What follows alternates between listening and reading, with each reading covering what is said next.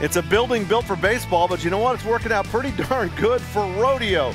Globe Life Field, they had the World Series here in October, and the Wrangler National Finals Rodeo invades in December. Jeff Medders, Butch Knowles, as we talk about what happened in round number three. The eliminators were out in bareback riding and saddle bronc riding. I love these nights.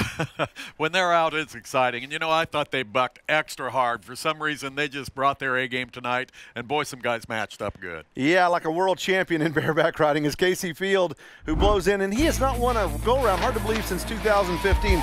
91 and a half points later, he has broken that streak. You know, and we were talking about when he left the chute how aggressive he was, how serious he looked, and it was well paid off right there. Nine and a half for Feild. He's trying to win his first fifth world title. He's on a good start.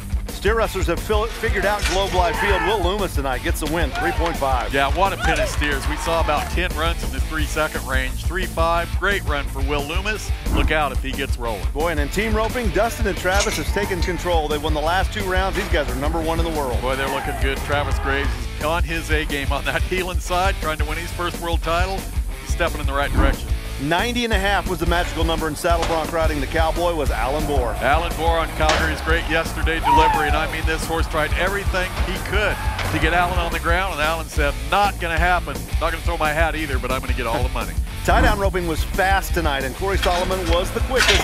Seven seconds flat. Watch him go down the rope like a slingshot. You know, you and I have watched Cory Solomon for a long time through his whole career and how quick he is on the ground. He definitely took advantage of a good draw and wins the round. And I'll be really upfront about it. Congratulations to Cory. I'm a, I'm a Lisa Lockhart fan. She almost won round one if it wasn't for that pesky third barrel, but she wins round three. How impressive was this? You know, and she and Rosa, they're just getting started. Great second barrel. You can see how fast this run was setting up. And this third barrel, you watch her launch off it. That's as quick as you can get around and get good drive off it. Great run for Lisa. In the bull riding side of things, only two guys made the whistle, and that's going to help Colten Fritzlen. He came in number 10 in the world. He wins 89. He jumps all the way to number two.